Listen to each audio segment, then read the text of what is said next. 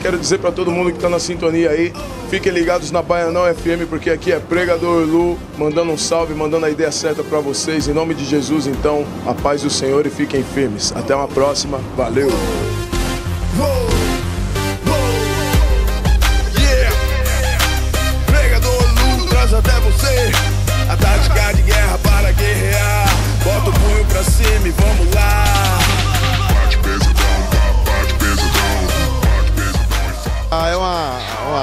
Que com certeza vai ser a voz do povo Comunicar é, as coisas do bairro, as coisas do Complexo Baianão. Isso é muito importante, uma voz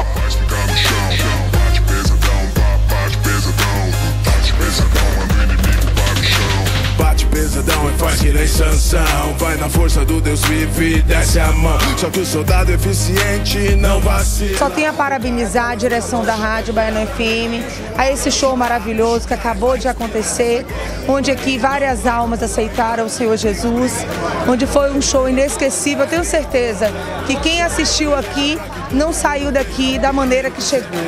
Eu quero só parabenizar a todos que participaram, eu mesma saio daqui diferente, porque Deus falou comigo aqui profundamente. Não é o que você quis, o que sonhou a vida inteira. Então vou mandar pro chão e me enrolar na bandeira. Derrotado dessa briga, pode crer que eu não saio. O troféu é meu, pois o campeão sou eu, então.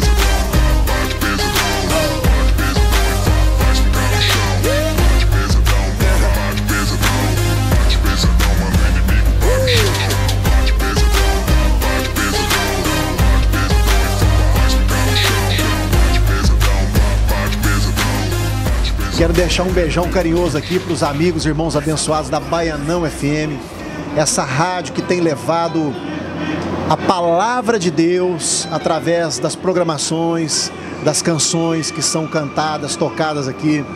Que Deus continue abençoando toda essa direção aí da Baianão FM. Um beijo para vocês. O mais alto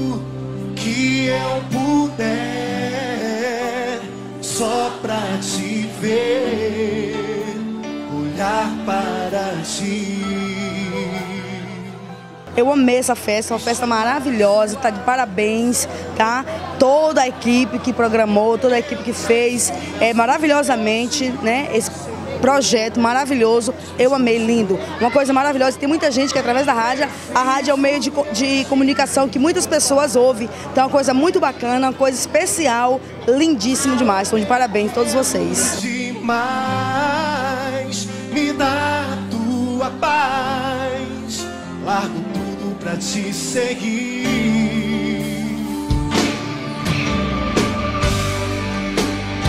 Entra na minha casa.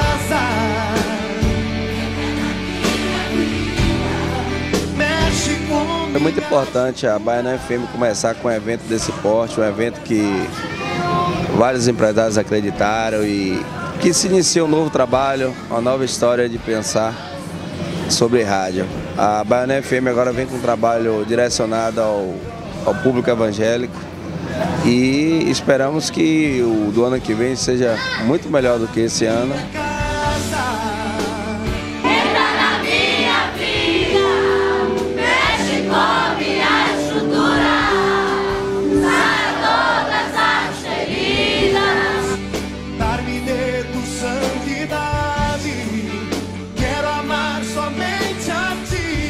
Certeza, esses dois dias foram realmente para louvar o Senhor.